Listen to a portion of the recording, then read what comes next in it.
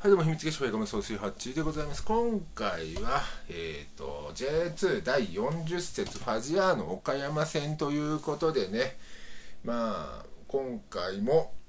えっ、ー、と、1回に追いついたんだけれどもね、またそこから決められて、えっ、ー、と、リーグ戦7連敗ということになっちゃいましたね、ということでね、本当に良くない。うん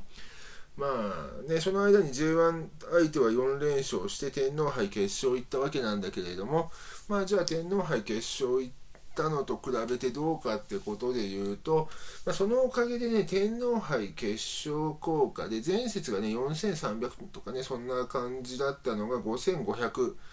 まあ3割増しぐらいで客入ったんだよね。まあ、つまり、ちょっともうコロナもあったりこの、ね、J2 落ちて長いしであの甲府から離れていた層が1200人も帰ってきてくれた、まあ、もしくは新しく来てくれたっていう状況でああやっぱななんていう試合をしてしまうのは本当に良くない、まあ、もちろん中3日できつかったとか相手もそこそこ上位だったっていうのはあるんだけれどもまあその相手とはいえなんだかんだ J1 で戦っていたチームがねその頃、うん、まだ J2 上がってからね上がってきたことのない岡山相手に、まあ、結局負けたねってのは本当にね、まあ、イメージとして良くない試合をしちゃったよなって気はする。まあ言うてうちスケジュールきつかったしまあこれがね天皇杯勝てば全部ひっくり返るぜってのはある。しまあひっくり返してくれようぞということでね、まあ、もちろんだからこそ7連敗リーグ戦7連敗っていう状況でありながら、まあ、ゴール裏もちゃんと出迎えたし、まあ、正直、うん、今回はね、まあ、中3日だったし、いい練習試合っていうかね、まあ、正直もう天皇杯本にね、あのガチで100%で言ってくれれば、まあ、今回はいいかなっていうね、感じにはなっちゃう。まあ、もっと言えばね、練習試合だとすれば、えーと、日本代表がね、例えばワールドカップ、コスタリカにはまず勝って、強い2つどっちかに引き分けられれば1勝1敗1分けで上行かれへんかなみたいな、うん。まあ、そんな感じになってんの中で、コスタリカに勝つぞってことでの練習試合っていう感じの試合でね、アメリカとかね、えーと、どこだったっけ、まあ、そんな感じで中南米あのコスタリカの近くのねあのところのチームとよく練習試合を組んでいる、まああの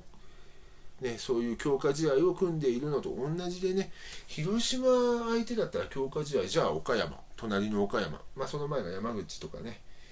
そんな感じ山口か岡山か、まあ、岡山いいじゃんって感じで岡山とねあの広島との試合前に練習試合行くんだってのは、うん。まあ、日程君いい仕事してくれたよね。なんかそう考えると広島戦勝てそうな気がしてきた。ああもうねそんな感じでなんか適当なこと考えてないとやってらんないんだけれども、まあ、リーグ戦に関しては。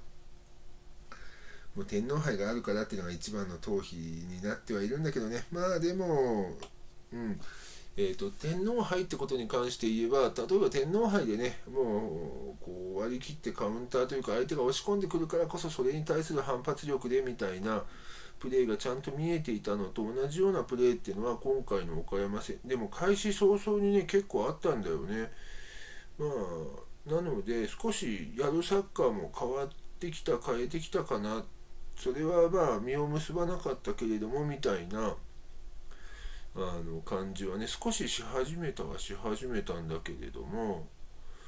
まあ何にせよ今年のねこの J2 後半戦最下位みたいな状況っていうのは本当に良くないよねっていうのはあるしまあまあでも良くないよねって言いながら J2 後半戦最下位のチームが天皇杯優勝したらめっちゃ面白くね？っていうのはあるんでまあそこへの振りと見れば 優勝すれば全部許せちゃうからね。降格なくなった以上、